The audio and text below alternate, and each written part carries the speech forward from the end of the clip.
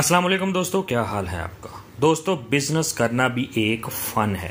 यानी हर बंदा जिसके पास पैसे मौजूद भी हों तो फिर भी वो बिज़नेस इसीलिए नहीं कर सकता क्योंकि उसे मुकम्मल मालूम नहीं होती। किसी भी बिज़नेस को करने के लिए उसकी मुकम्मल मालूम होना बहुत ज़रूरी है।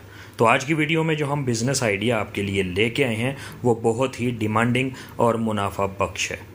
तो चलिए वीडियो की तरफ़ बढ़ते हैं। वीडियो मुकम्मल देखिएगा ताकि पूरी मालूम आपको मिल सके।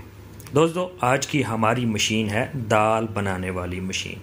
इस मशीन को आप आसानी से घर में लगा के एक छोटी सी फैक्ट्री बना सकते हैं। दोस्तों, दाल बनाने के लिए मार्केट में मुख्तलिफ़ मशीन्स मिल जाती हैं। जैसे सिंगल दाल मशीन मल्टी दाल मशीन वगैरह।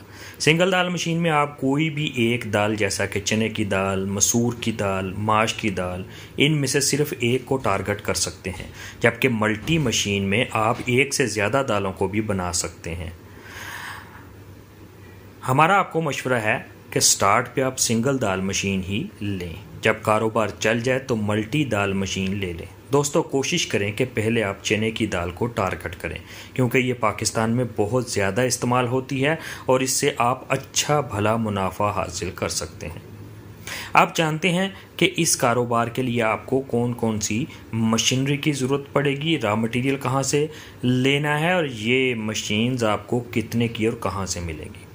रॉ मटेरियल की बात करें तो मिसाल के तौर पर अगर आप चने की दाल बनाना चाहते हैं तो उसके लिए आपको रॉ फॉर्म में दाल या चने ख़रीदने पड़ेंगे। पाकिस्तान में छिहत्तर फ़ीसद चने की दाल चनों से ही बनाई जाती है। ये चने आपको खुशाब, मियाँ वाली और भक्कर वगैरह से होल सेल रेट पर मिल जाते हैं। चने ख़रीदने के बाद इसे मशीन में डालें। मशीन आपको दाल बना देगी, उसको पॉलिश करें और सेव कर दें। चनों से उतरने वाला छिलका भी एज ए चारा इस्तेमाल होता है। वो भी आपका अलहदा से बिक जाएगा। इस तरह दाल से आप बेसन भी बना के बेच सकते हैं। ये मशीन आपको पाकिस्तान के हर बड़े शहर से बसानी मिल सकती है।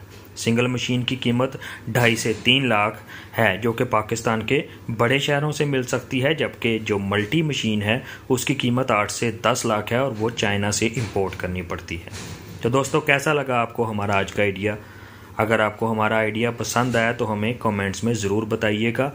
हमारे चैनल को सब्सक्राइब करें और बेल के आइकन को क्लिक कर दें ताकि आने वाला हर आइडिया आपको जल्द मिल सके। अगली वीडियो तक इजाज़त दें। अल्लाह ने गेहबान